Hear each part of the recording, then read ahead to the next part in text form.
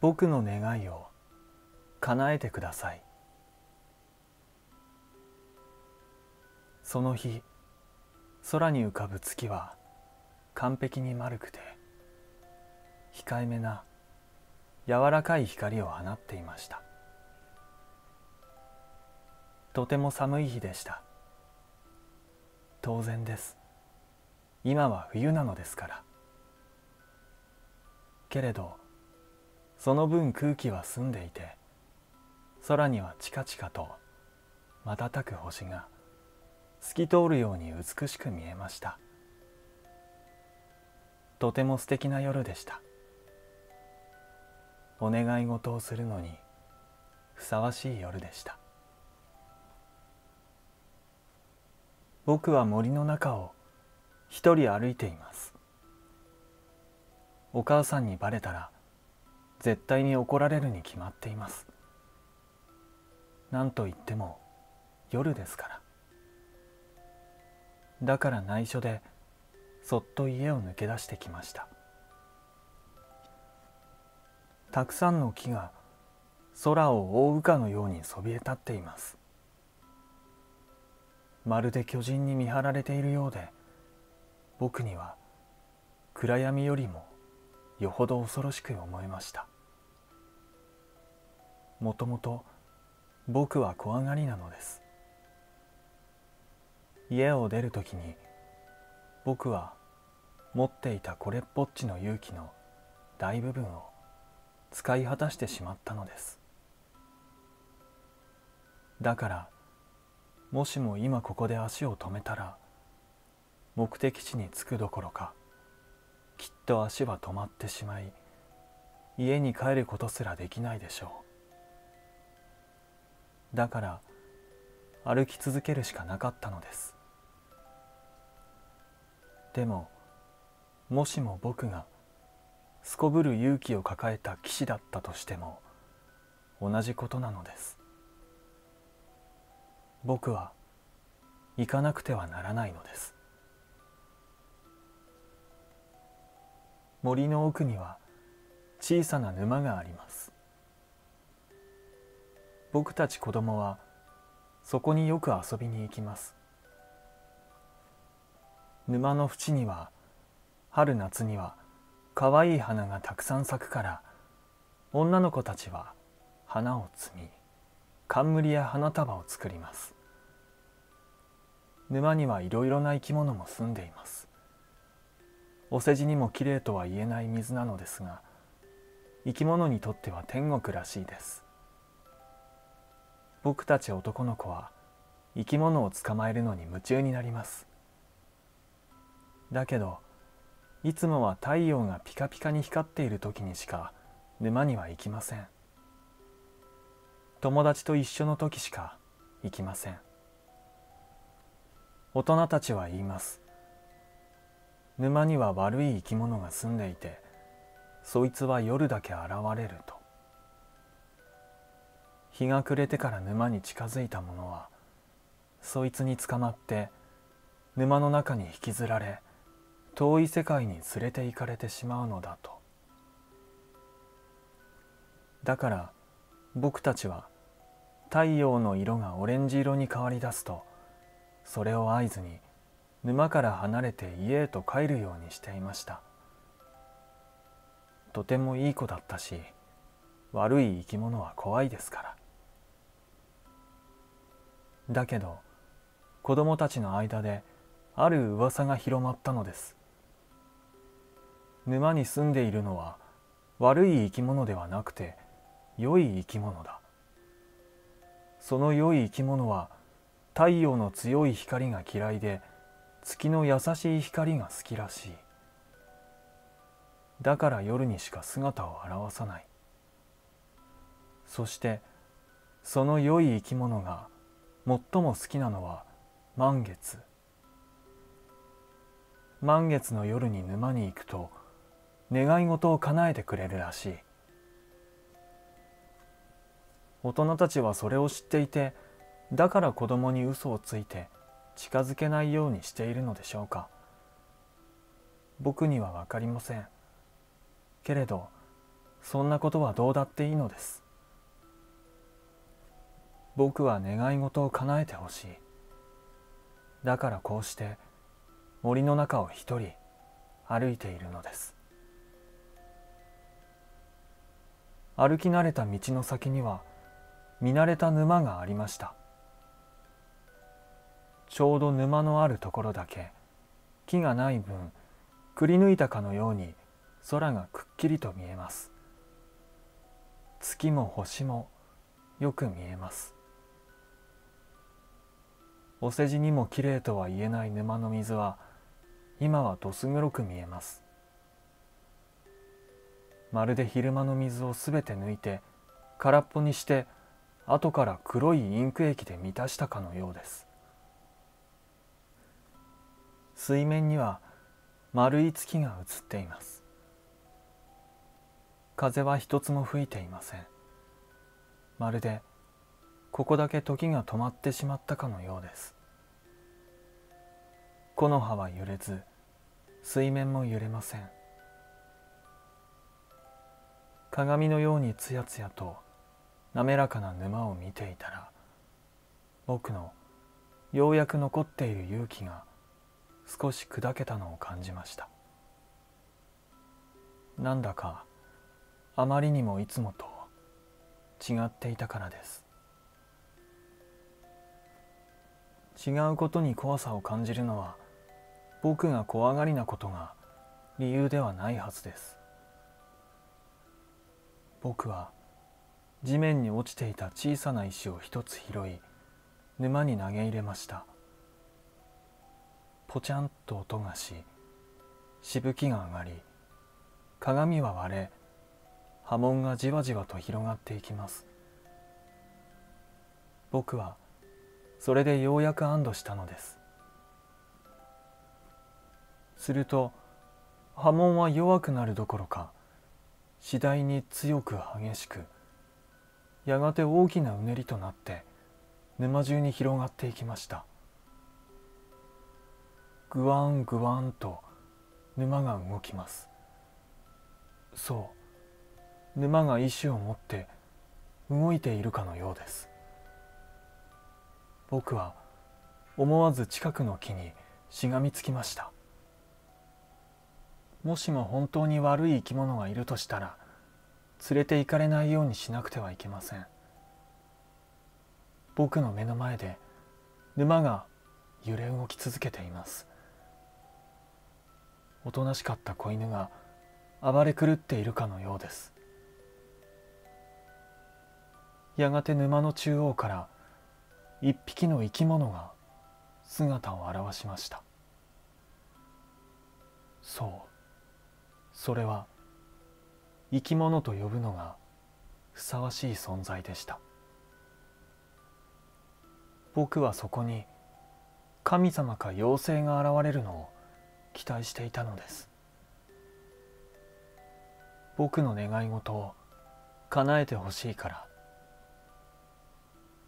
けれど目の前に現れた生き物は生き物でしかありませんでした。顔には目らしきもの鼻らしきもの口らしきものがあります。けれどどれも本当にそれらなのかと言われてもわからないものばかりです。その生き物は大きな服のようなもので体全体を覆っています。だから手足がどうなっているのかちっとも見えません。ただそこに体があるということがわかるだけです。僕の体は震えていました。体の奥に残っていたひとつまみの勇気までもが振動によってかき消えてしまいそうでした。でもそうなる前に僕はどうしても願い事を叶えてほしかったのです、願いを叶えてくれるというのは本当ですか？言い切ったところで思わず「はあ」と息が出ました。ぎゅっと握った手には力が入ります。胸いっぱいに蓄えていた僕の気持ちをようやく口に出せたのですからそれも当然です。生き物の顔らしきものが動きました。まるで僕をようやく認めたかのようでした。すると声が聞こえました。願いを叶えてほしいのか。その言い方は自分には願いを叶える力があると言わんばかりでした。僕は少し身を乗り出してためらうことなく大きな声で「はい」と返事をしました。もうその生き物の口らしきものが動いてないということもどうでもよくなりました。大切なことは声が出てくる場所ではありません。その言葉の持つ意味です。言ってみろ。僕は唾を飲み込みました。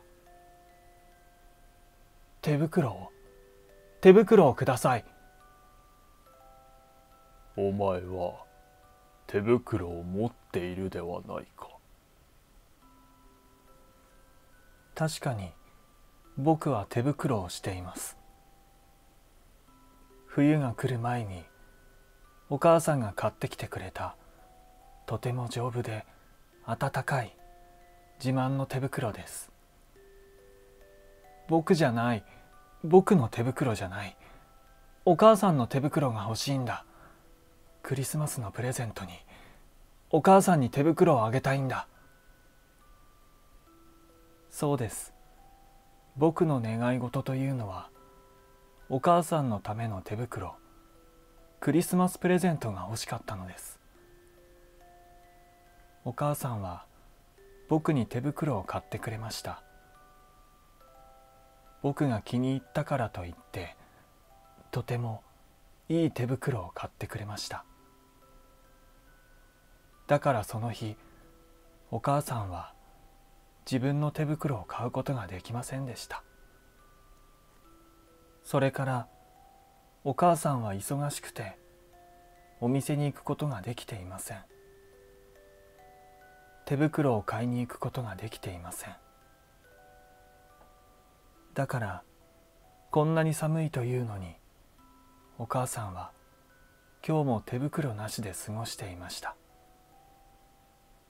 僕だけが丈夫で暖かい手袋をしているというのにお母さんは冷たくなった手をこすり息をはーっとかけていました。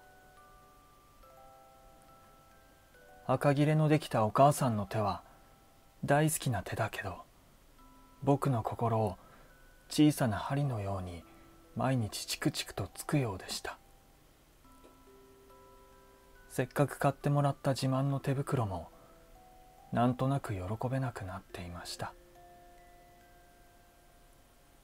母親のための手袋か。その願い叶えてやろう。え本当？ありがとう。気づけば僕の手には真新しい手袋がありました。僕のよりもよっぽど素敵で丈夫なお母さんにぴったりの手袋です。僕は心から喜びました。この沼の生き物は見かけはどうであれとてもいい生き物でした。僕は自分の願いを叶えることができたと知りとても嬉しくなったのです。けれどその生き物はこう言いました。では代価としてその瞳を一つもらおう。え？僕の見ている世界が一瞬ガクッと動きました。それは一瞬でした。何が起こったのか僕には全く分かりませんでした。僕は空いた手で左右のまぶたを触りました。片方がへこんでいました。もう片方のまぶたに手をやると何も見えなくなりました。痛くも何ともありません。ただ僕の瞳が一つ僕の顔からまぶたの下から消えていたのです。僕は正直ほっとしていました。もともと僕の目はいいのです。一つなくなったくらいで困ることはありません。すぐになれるでしょう。それよりもお母さんが手袋のないままこの冬を過ごす方がよっぽど大変なことです。僕の瞳一つと引き換えに手袋が手に入るのであればそれは喜ばしいことでした。見ると生き物の顔らしきところにはっきりと瞳が一つ見えました。それは僕の瞳でした。その瞳がちらりと僕を見ました。そしてその生き物はさらに言いました。まだ願いはあるか？僕は少し考えましたある。あるよ。言ってみろ。あったかいブーツを。お母さんのために。雪にも負けないブーツをください。そうです。手袋を買いに行ったその日。お母さんは僕のものばかりを買い求め。自分のものは何一つ買わなかったのです。お母さんは何年も同じブーツを履いています。もう皮は古くいくら手入れをしても雪水が染み込んでしまいます。お母さんの足を冷やしてしまいます。僕の足元に上等なブーツが現れました。厚くて丈夫な皮はもう雪水を通すことはないでしょう。お母さんの笑顔が一つしかない瞳でも思い描けます。では代価としてその方を一つもらおう。さっと風が頬をなでたような感触と思ったら生き物の顔らしきところふっくらとした頬が現れました。僕の頬が一つ消えました。お母さんがよく撫でてくれた方が一つなくなりました。でも大丈夫。まだもう一つ方はあります。その方を撫でてもらえばいいのです。他には？それから僕は次々にお願い事をしました。お母さんのためのコートあったかくて軽い素敵なコート。僕の耳が一つ消えました。でも大丈夫です。一つでも聞こえます大好きなお母さんの声は聞こえます。お母さんのための帽子あったかくて耳まで覆えるような帽子。僕の髪が半分消えました。でも大丈夫です。髪なんてなくてもへっちゃらです。僕にはお母さんが買ってくれた帽子があります。お母さんのための口紅。冷たく青く震える唇をピカピカ明るく彩る口紅。僕の唇が消えました。でも大丈夫です。唇がなくてもご飯は食べられますしキスだってできます。その生き物は僕のものだった唇を開きました。他には？僕は少し考えてそれから首を振りました。するとその生き物はスーッと沼に消えていきました。吸い込まれるようにスーッと静かに残されたのはたくさんのお母さんへの贈り物。手袋にブーツにコートに帽子に口紅。どれも素敵なものばかりです。沼の水面は元の鏡のような艶やかさを取り戻しぽっかりと満月が映っています。僕はお母さんへのプレゼントを抱えて森を駆け抜けました。来た道を戻り家へと急ぎます。僕はそっとドアを開けて家に入りました。そして明かりのない居間に行きクリスマスツリーの下にお母さんへのプレゼントを置きました。小さなツリーの下はたくさんのプレゼントで埋め尽くされました。こんなことは初めてです。いつもはお母さんが僕のために用意してくれたものしかありませんから。僕は自分のベッドに行き布団をかぶって寝ました。